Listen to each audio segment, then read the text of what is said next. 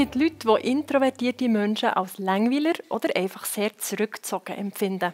Unsere nächste Protagonistin Nathalie Seelinger ist aber überzeugt, dass Introvertierte nicht beziehungsscheu sind, sondern Gemeinschaft lieber im kleinen Rahmen genießen. Nathalie Seelinger lebt seit kurzem in Thun. Heute trifft sie eine Freundin zum Kaffee. Wenn ich Beziehungen pflege, habe ich es eigentlich am liebsten Beziehungen eins zu eins.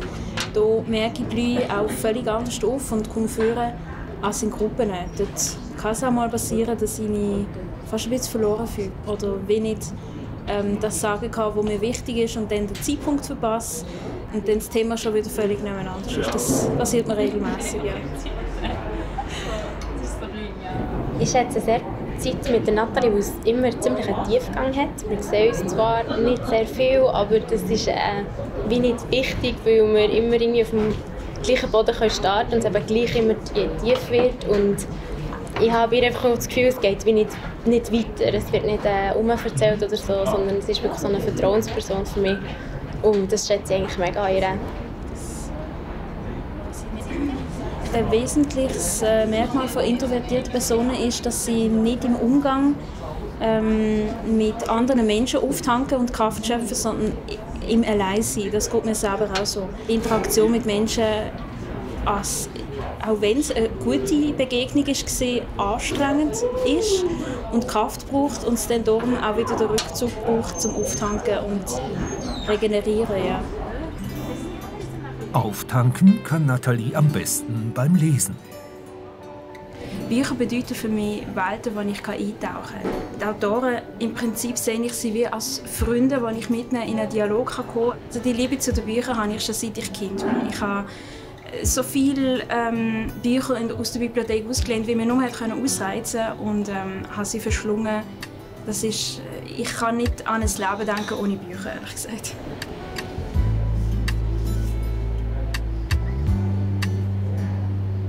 Typisch für mich als Kind war, dass ich eher ein ruhiges und stehs, man könnte sogar sagen, zurückgezogenes Kind war. Ich war gerne allein, auch in Pausen zum Teil. Es hat sogar eine Situation gegeben, wo eine Lehrerin auf mich zugekommen ist und gefragt hat, «Hey, ist alles okay, Nathalie?» Und das hat mich ein Stück weit irritiert, weil ich gefunden habe, für mich ist doch alles okay, mir geht es gut, was ist denn das Problem? So erstaunt es nicht, dass Nathalie als erste Ausbildung eine Lehre zur Buchhändlerin absolviert. In der Lehre zur Buchhändlerin ist mir leicht gefallen, dass ich gerne lese und mir Wissen aneigne. Ich kann die verschiedenen Verlage einordnen und all das Zeug, das hat mich begeistert. Herausfordernd ist definitiv der Kontakt mit den Menschen. Das Telefon in die Hand nehmen und sagen, ihr Buch ist eingetroffen, das ist für mich jedes Mal eine, eine, Herzklopfen-Sache. Ich habe es dann aber auch lernen, je mehr ich Menschen einfach kennenlernen und herausspüren. So die Kundentypen, sage ich jetzt mal, habe ich dann auch wie so ein Gespür gehabt oder vielleicht sogar eine Gabe, die richtigen Bücher zu den richtigen Leuten zusammenzubringen. 2015 wird Nathalie stellvertretende Filialleiterin in einem Orel Fürsli-Laden in Basel. Aufgeblüht in dieser ganzen Aufgabe bin ich definitiv in der Bestärkung in meiner Führungsrolle. Also dadurch, dass die Filialleitung, also meine Vorgesetzte, ähm, mir vertraut hat und auch den Laden überlassen in ihren Ferienzeiten, ich habe gemerkt, sie glaubt an mich, sie sieht etwas in mir, was ich dann noch nicht gesehen habe. Und der Glaube an mich, der hat mich mega gestärkt und dazu auch befähigt, äh, Sachen auszuprobieren und aus meiner Komfortzone rauszugehen. 2016 verlässt Nathalie Orel Fürsli, weil sie studieren will. Herausforderungen in ihrem Leben regelt sie selbst. In diesem Jahr ist es mir eigentlich gut gegangen. Die Mami hat Krebs. Es war nicht cool, aber es war jetzt auch nicht so, dass ich nicht mehr meinen Alltag prestieren konnte. Der Alltag ist gelaufen. Ich habe, wenn mal irgendetwas gesehen habe ich es managen. Es ist mir gut gegangen. Dann. Doch dann folgen vier Jahre mit Schicksalsschlägen und hoher Arbeitsbelastung. Innerhalb von wenigen Jahren hat es viele Sachen gegeben, die mich sehr belastet haben. Zum einen ist die Mami dann gestorben.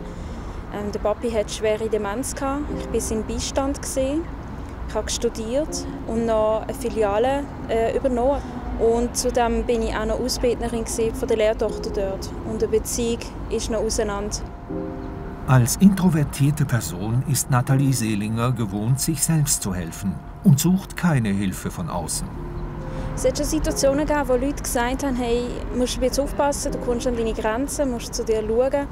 Und ich habe das wenig ernst genommen, um ehrlich zu sein. Ich gedacht, doch, das geht, das schaffe ich, ich bin stark genug, ich schaffe das allein, ich kann das regeln, managen. Ich war vielleicht auch ein bisschen stolz, vielleicht auch ein bisschen stur. Im Sommer 2020 kommt der Tag, an dem ihr alles zu viel wird. Als ich aufgestanden bin und wollte arbeiten, habe ich gemerkt, etwas stimmt nicht. Ich bin nicht ganz mir selber und wollte arbeiten und ich habe den einfachsten Kassiervorgang nicht mehr anbekommen.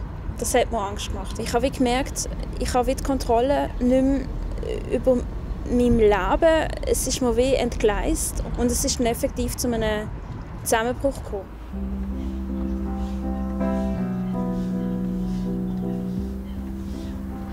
Auf der einen Seite bin ich enttäuscht von mir selber, dass mir so etwas passiert. Auf der anderen Seite hat es aber auch Klarheit in die ganze Geschichte gebracht. Es hat mich auch ein Stück weit entlastet, dadurch, dass ich dürfen schwach sein, dass ich dürfen mich verletzlich zeigen. Und ich habe mich dann auch entschieden, ähm, psychologische Hilfe in Anspruch zu nehmen, bin zu einer Psychologin ins Gespräch und das Ganze zu reflektieren und auch aufzuarbeiten, hat mir wirklich gut getan.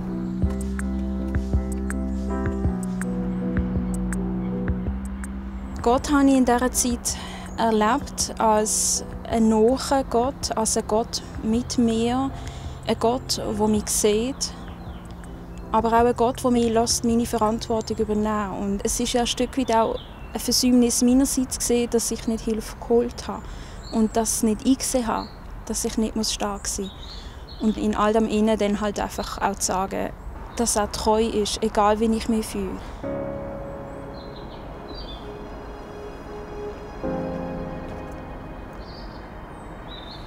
Etwas, was ich aus dieser Zeit gelernt habe, ist, meine eigenen Grenzen und auch mich selber besser spüren und wahrnehmen und auch wahren und verteidigen gegen außen, gegen Erwartungen von außen, aber auch gegen Ansprüche von mir selber. Gerade besonders als introvertierte Person, die, die darauf angewiesen ist, sich einmal zurückzuziehen, um Kraft zu tanken.